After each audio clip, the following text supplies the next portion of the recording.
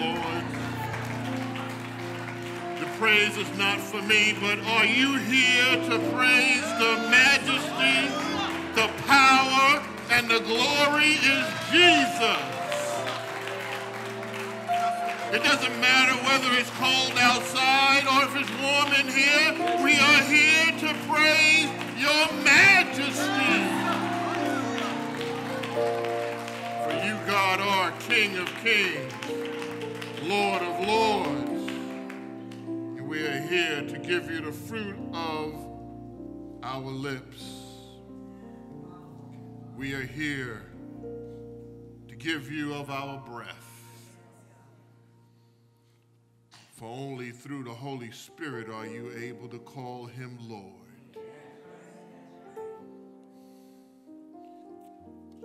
You can only say that Jesus is Lord because of the Holy Spirit. Can we give the Lord a praise for the men and for the music ministry? Not to exclude those that ushered in the presence through our praise team. Can we give the Lord a praise for the glorious worship up into this appointed time? The time in which we've come not to see what I'm wearing or to hear what I might have to say but we come because we want to hear what thus saith the Lord. And the question is Is there a word from the Lord? And the answer is affirmative. There is a word from the Lord on today. And today we are going to examine St. Matthew's chapter 15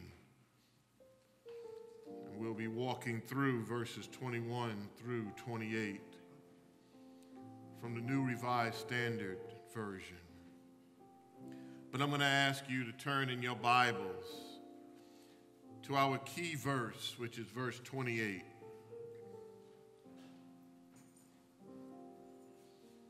And once we have found that in our Bibles and on our tablets and or phones, if I can have a hearty amen to let me know that we are all at the same address. Amen. Then Jesus answered her, Woman, great is your faith. Let it be done for you as you wish. And her daughter was healed instantly. As you are prayerfully considering what the Lord has to say on today, say with me, persistent faith. Persistent faith. Let us pray. Most gracious and heavenly Father, we have been in worship to the King of Kings and the Lord of Lords. But now is the appointed hour where we ask, Lord, that your spirit prevail, that your spirit empower, that your spirit anoints, heals the ills and the woes of these that are in your company. Not just these that are in this sanctuary, but even those that are tuning in on our YouTube page or our Facebook page. We ask for an instant healing because there is persistent faith in your kingdom. And we just ask, Lord, now that I decrease and you, Lord, increase, that the words and the meditations of my heart be acceptable in thy sight. O Lord, my strength and my redeemer. From my lips to the waiting hearts and ears and temples that are present and even on the airways, bless even now through your spirit that that which they hear entered into the hearts of men so that they will know that you are God and besides thee there are none other. We thank you and we praise you in advance for the healing that you're going to do. Yes, Amen. You may be seated in, in the house. Today, our lesson is going to be about faith that is not discouraged, a faith that is not deferred, a faith that is not deterred, and a faith not distracted, not even by silence.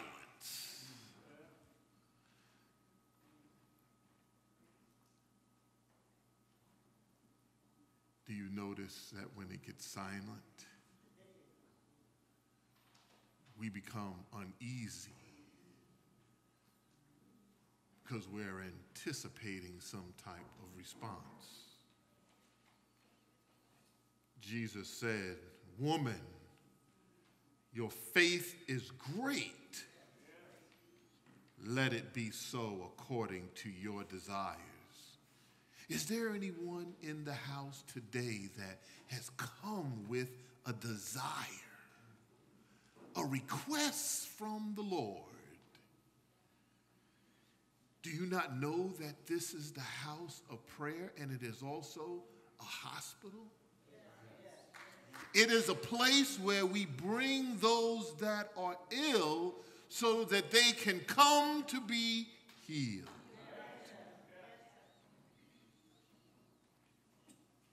Your desires can be fulfilled. Wow. How did this mother, who was not a Jew, obtain such faith? How does this story, according to the Gospel of Matthew, what does it tell us about Jesus? Well, we know that he had just left Galilee and Jerusalem and he headed north to a region of Tyre and Sidon. But let us pause right there for a minute because Tyre and Sidon is a Gentile territory. And what do we know about this region? It is the Canaanite area. And Matthew is using this to define that this is a woman that is a pagan. And in the Jewish mindset, they are considered dogs.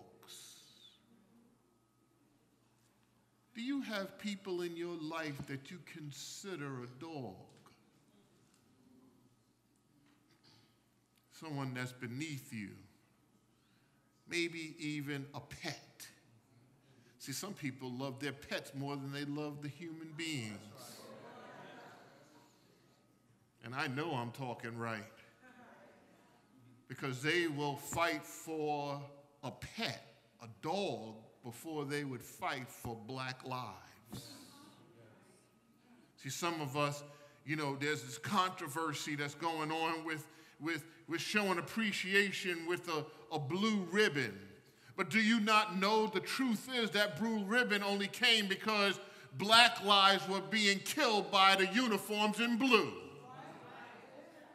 And I'm not saying that, that we should not support those that are supposed to protect and serve, but we know that there are some mean, bad, and evil people in blue that take and hunt us as prey.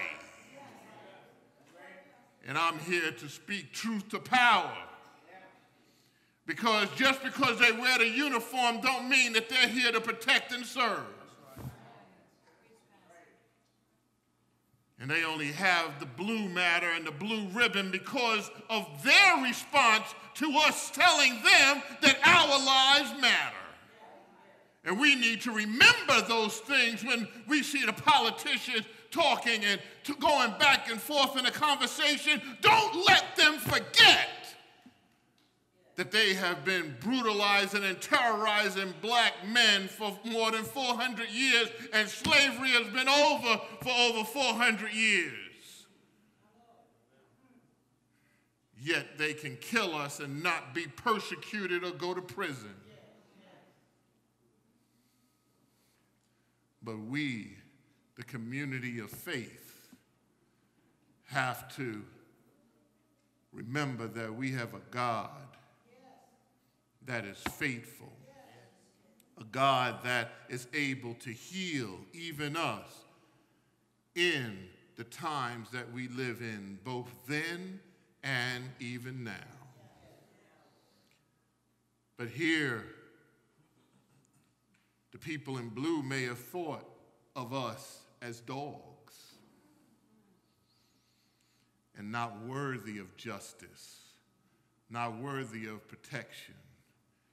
And they show it the way they treat us. Our Sunday school lesson says that you show your faith by example of how you live. So when we look at the politics and we look at how they live and do policy, we don't care what comes out of their mouth in regards to whether or not they claim to be Christian. You show me your faith by what you do. And here, this lesson is going to unfold as Jesus is trying to teach a lesson here. So don't be distracted, don't be deterred, and don't be discouraged. Because there's going to be some tough phrases and there's going to be some things within this scripture that's going to cause us to wrestle. It's going to cause us to have some tension and uneasiness. And yes, there's an issue in the back of our church, but I'm going to ask you to pay more attention to the word because the attention is being given to the one that has a medical need.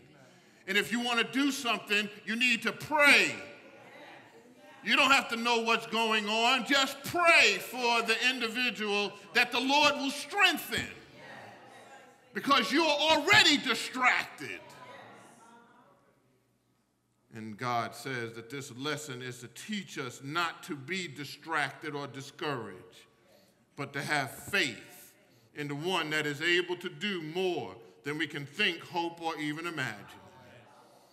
This is a very important lesson on faith. How many of you know that the possibilities are only a trust away. Is it possible that people who we consider beneath us and not worthy of our eyes or attention or our money deserve the benefits of God? Whoa. Is it possible that such people that stand on the street corners, that have lifestyles that are different than ours, is it possible that, that they could have stronger faith than we have who come into the house of God? Is it possible that what was going on in the house of Israel is the same in modern day Christendom today? See, faith is not based on a culture and it's not based on a race. Because everybody has faith. But what do you trust in? See, faith is the confidence of that which we hope for will actually happen. In various circumstances, we live out what we believe because of our faith. Even though we can't see it, we still act on it because it gives assurance of what we think will happen. But what does it mean to live by faith? I would strongly suggest that in various situations and circumstances and realities or dilemmas, we live out what we believe. Everybody's watching us. As Christians, do we believe that God exists and that He is a rewarder for those who seriously seek Him, not occasionally date Him? Oh, yeah.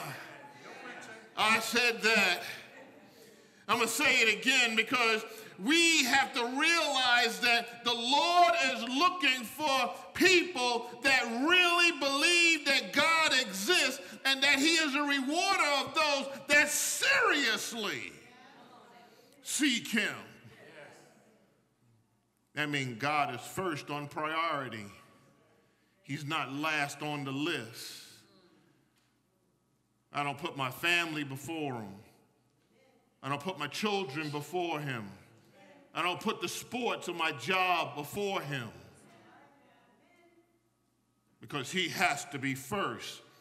And see, when you seriously seek God, it means you are a God chaser. Oh, I feel the Holy Spirit in this place. And if you want to know where I'm at, the address is Hebrews 11 6. Hebrews 11 1 was talking about the definition of faith, but how do you live by faith is actually in Hebrews 11 6. What will people say about your character? Because of what they see in you. Yeah, think about that. Selah. That's Hebrew for think about it. Pause for a moment. Let that sink in. None of us can say that we have seen God, but we have faith that He is. Those that live by faith take confident action based on what God has revealed about his character, seeking to do his will in all things. Somebody say, all things. All things. I want to do your will in all things. Say that. Oh, now you said it. Now we're going to see whether or not you're going to do it. Are you a God chaser? Do you hunger and thirst after Him and His righteousness? For how many know that if you are a God chaser, you have the potential for actually pleasing God? Or even is that on your radar? Because 11:6 in Hebrews says that without faith it is impossible to please God. For whoever would approach him must believe that he is. Somebody say, You are God. Even if I don't recognize you, you are God. We're not even going to get to the reward because you exist. You are God. Even if I don't recognize you, you're still God. But then when we seek him, there's some benefits our Bible tells us. He said that he is a rewarder of those that seriously seek him, seriously chase after him. We have been studying on Wow Evening. And we've been studying on hearing God and reading and studying the Word of God as we try to get a stronger grip the, on the Bible. And Jesus taught us a very mighty lesson in Matthew 11 just four chapters before this one. And this is what Jesus says that he's about to drop in the disciples' ear. He says that it is determined by your willingness to accept what I'm about to say. So that means Jesus says that I can speak until your ears fall off. But if you are not willing to accept what I'm about to tell you, then it just falls on rocky ground.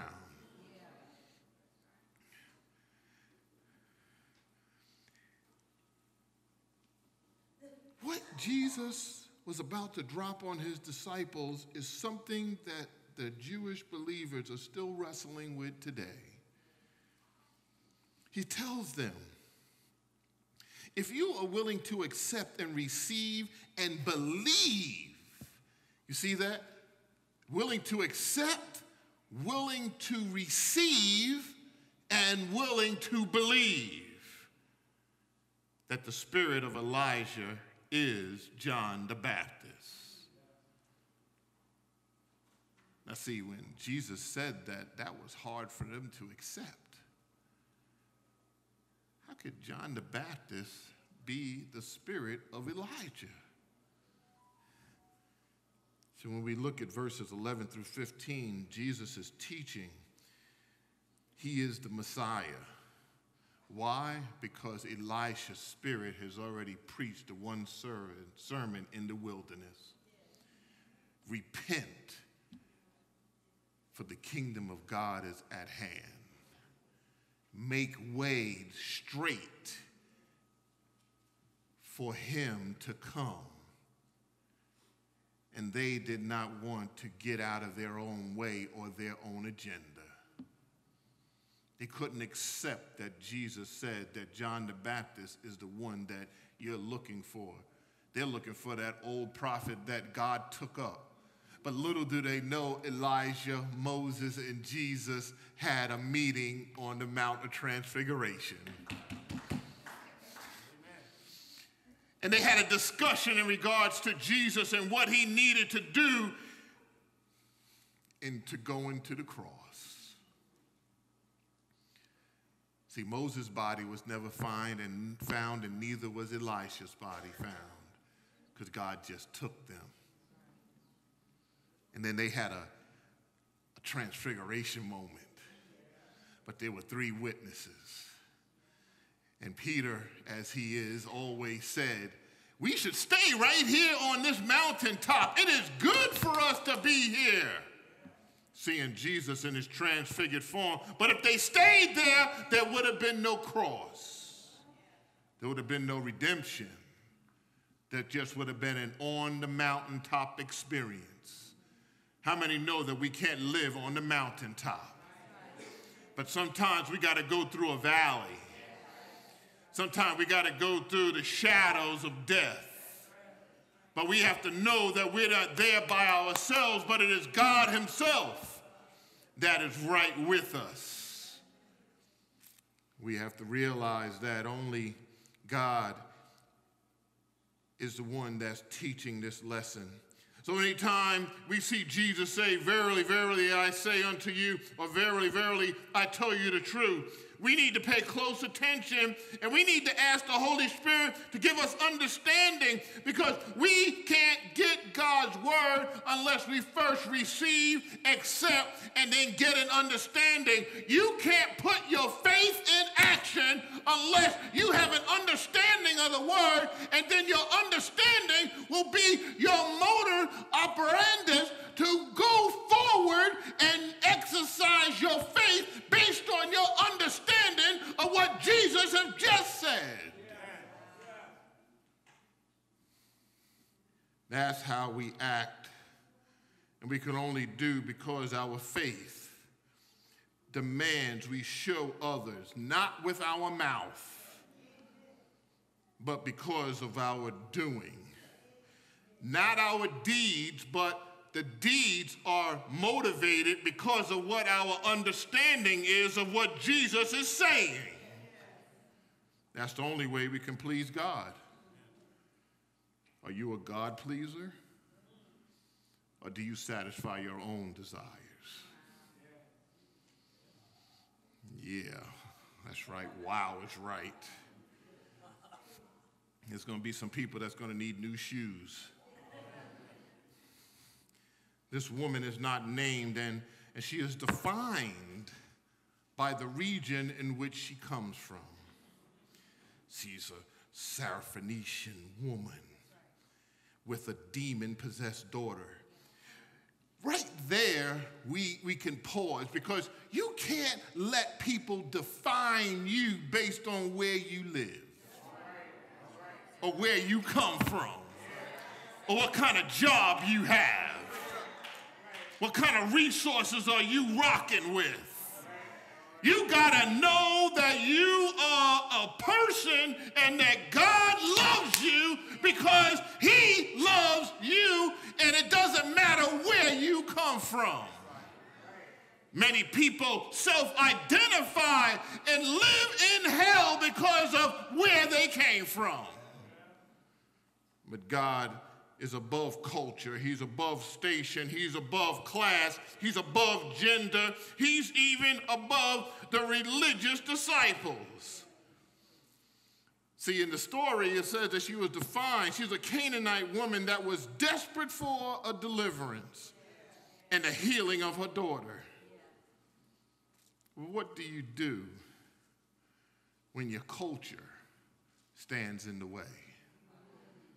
What do you do when your station and class stands in the way? What do you do when your gender is in the way? She cried out, the Bible says, right? But what do you do? when you cried out to the Lord, Help me. And Jesus says not a word.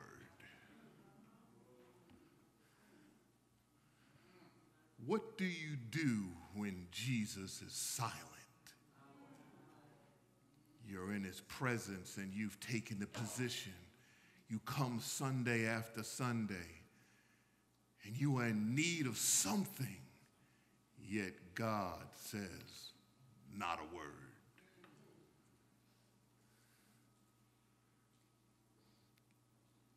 Does your faith demand that you not be discouraged because Jesus is silent? Or do you run to someone else because you're seeking a response? You run to another church because you're seeking another response You church hop because you're seeking a response. What is it that causes us the uneasiness when Jesus is silent? Do you keep on?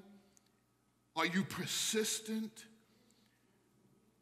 When Jesus' disciples says, send her away She's bothering us.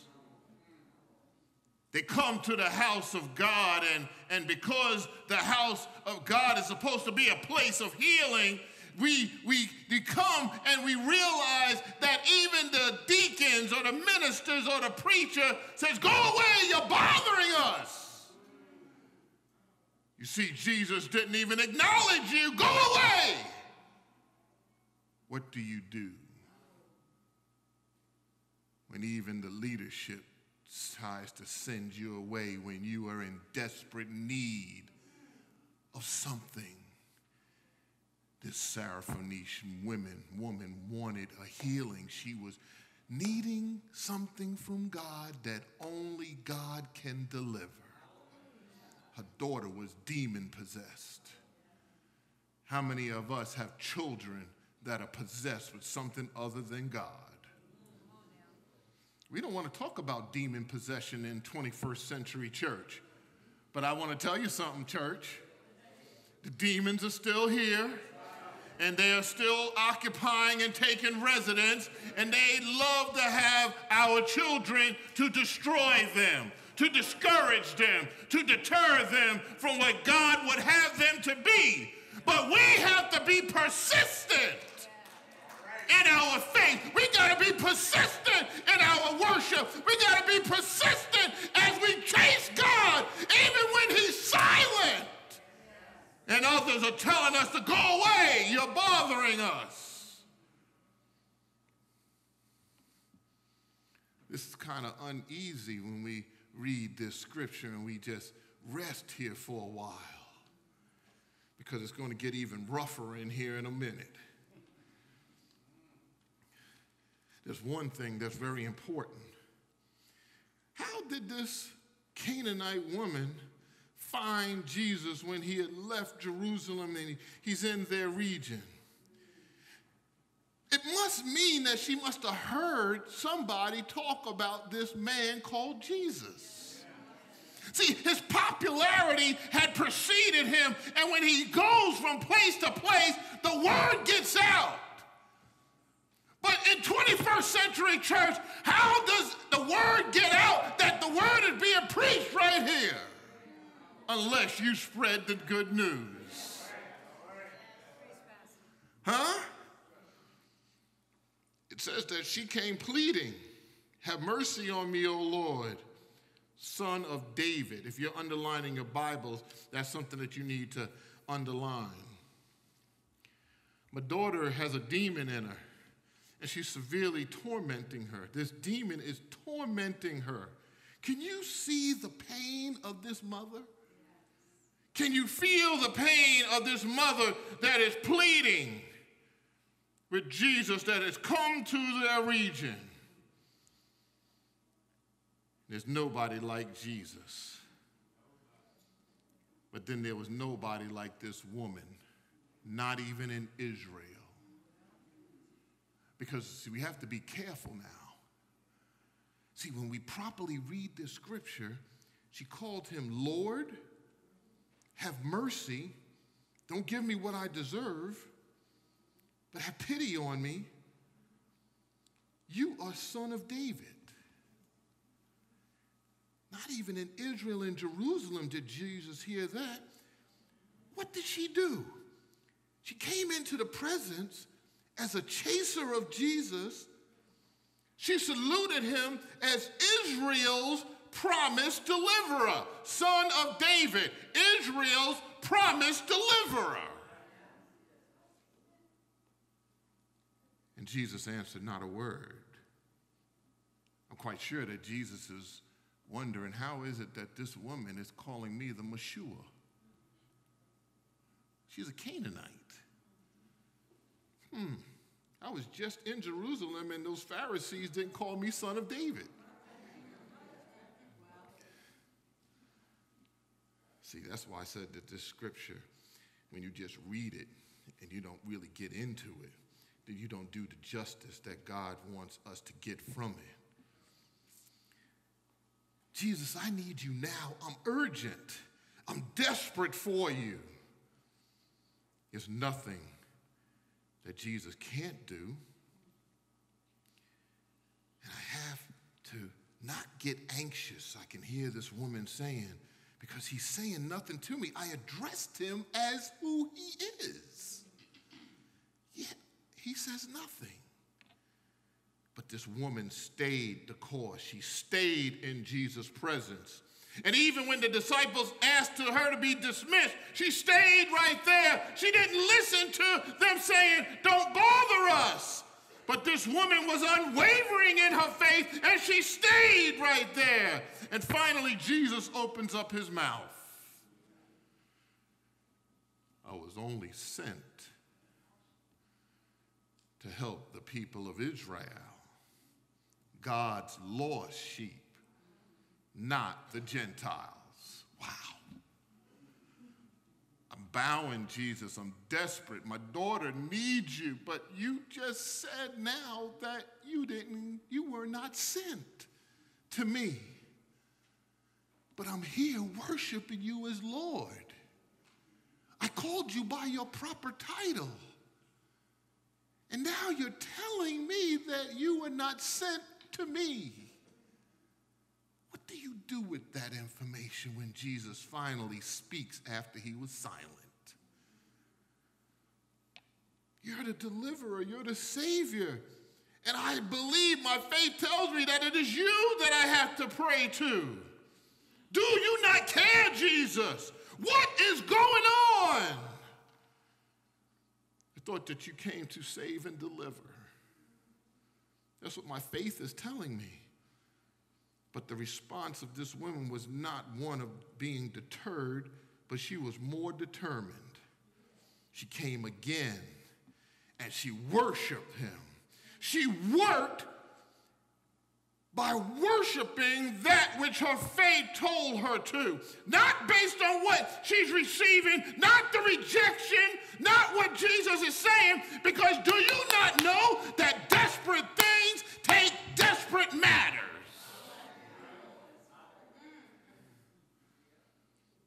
you can't be an occasional dater.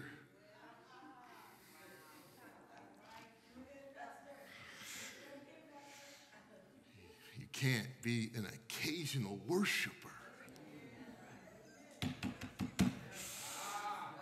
Oh, help me, Holy Ghost. But when you're desperate for something, you need to know that there's a God that can hear and answer you, even if He tells you something that you don't want to hear. She came and she worshiped and she begged and she pleaded again, Lord, help me. That's a prayer right there. Do you see this woman in our church today saying, Lord, I need you? And we send her away. Lord, I need you to intervene because my daughter is demon possessed. Don't you care? And then Jesus responds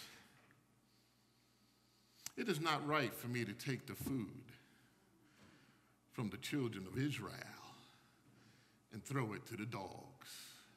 Remember, I said it was going to get rough, right? See, people like to have Jesus as painted as this meek, humble, and just lovable person, which he is. But there's a lesson within the lesson. See, Jesus is, is, is saying that I wasn't sent to you, I came to this region. But what happens when Jesus comes to your house? Huh? What will he find there? Will he find somebody that has faith in the Son of David? Or will he find somebody that has been seeking something else other than him? Because you know that they worship demons in this region.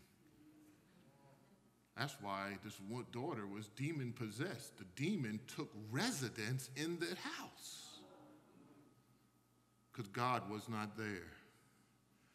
But now Jesus is in the neighborhood. But we got to remember when we look back into this translation and the, the hearer that's hearing, the, the Greek hearers and the Aramaic hearers that's hearing Jesus talk about this, this, this parable, he's calling her in the Canaanite family. See, dogs are in the canine family. And she is a Canaanite, which the Israelites thought of as dogs. They were beneath them. And here Jesus is saying, It's not good for me to take the food that I was sent to give to those that are lost in Israel, because that's why I was sent. I'm clear. My father sent me to them first. So, anybody has referred you to you as a dog? Has the police looked at our black men and call us dogs?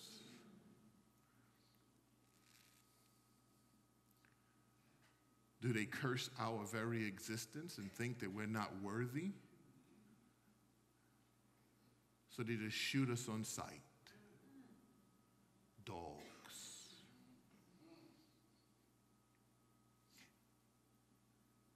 I would have a real problem with somebody calling me a dog.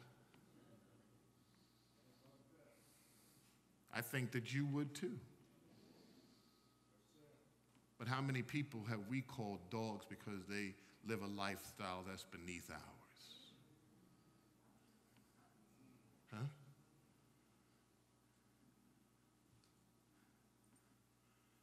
See, words mean everything. But look at this woman and how she responds to the insult that Jesus is referring to because this is what society and the Israelites call them. She responded not in discouragement because of the insult, but she let her faith speak for her.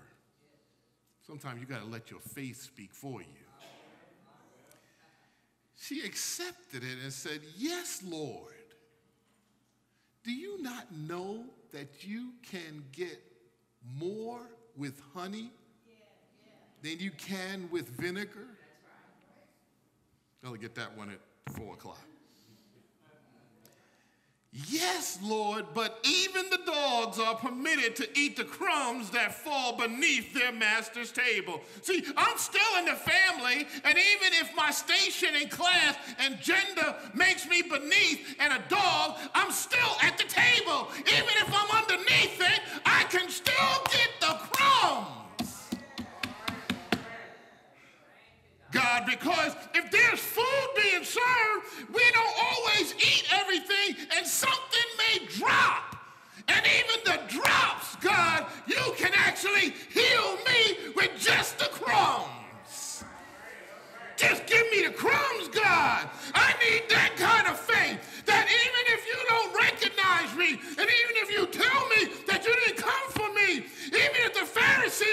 way, even if my culture gets in the way, even if my gender gets in the way, my faith is that you are God. And even your crumbs can heal me. Oh, how many here have crumb like faith? That even if you are not seated at the table, but you are there just waiting to see what is dropped, but I'm still in the house so that I can hear the word of God, and even the crumbs can heal me. What request do you have of Jesus? See, let your faith and praise not be discouraged or deterred, but keep holding on, church. Keep holding on to God's unchanging hand. Yes, he was sent to the lost house of Israel, but even the Gentiles are welcome in the house. See, this lesson it indicates that he was sent to the lost house of Israel first, but there must be a second. Oh, help me, Holy Ghost. So even the crumbs from the lost house is better than none at all. Persistent faith is what unlocks the healing and the deliverance.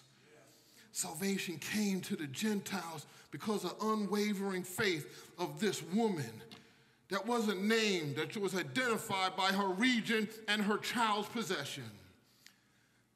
Possession. But don't let nothing block your deliverance. Keep kneeling, keep praying, keep pleading, keep praying.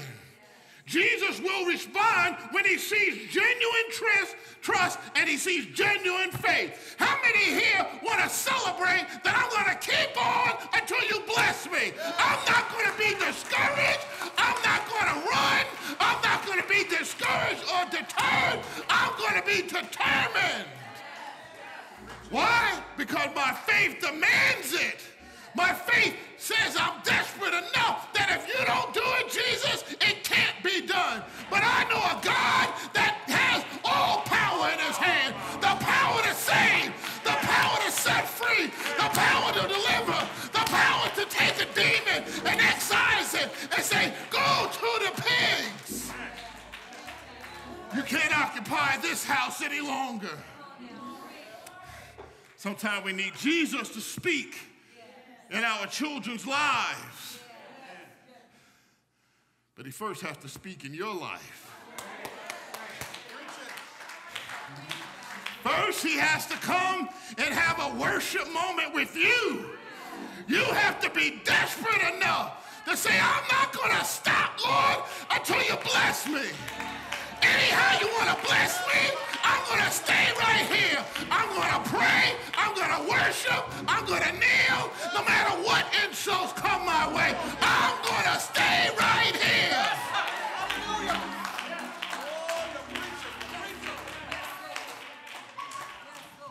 I'm going to put my whole trust in you. My daughter's life depends on it. My son's life depends on it. I'm going to keep coming to the house of God until I get a breakthrough.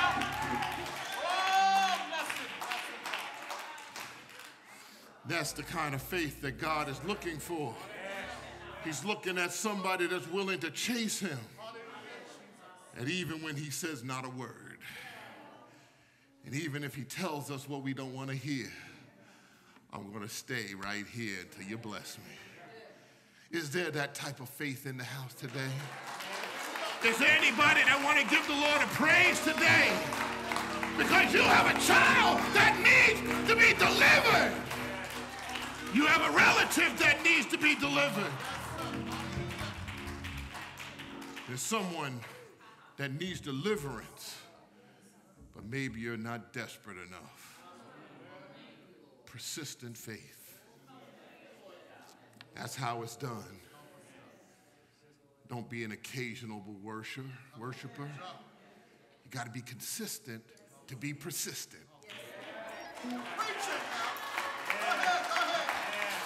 Oh, I want to say that one again.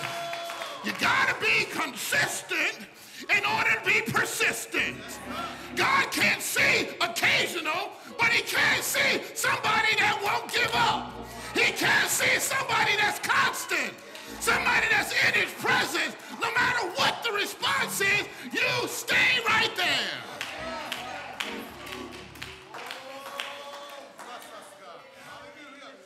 Oh, help me, Holy Ghost. She took the position. She kept kneeling. She kept pleading until the Lord says, Woman, your persistence is like none that I have seen in Israel. You call me son of David. Today, let it be so. As you wish. What is your wish today? Do you wish to be whole? Do you wish for your family to be whole? Who here has persistent faith and say, no matter what, no matter who's around me, I'm going to praise you, I'm going to worship you until I get my blessing. According to my wish, your daughter is healed instantly. He didn't have to go to the house. He didn't have to lay hands on her. He just said it, and it was instantly. How blessing? How many come because you need God just to speak, and it's done? Your faith, not your daughter's faith, your faith. Woo! Hallelujah! My faith can heal my children. Your faith can heal your children. All you have to do is be persistent and consistent. Hallelujah.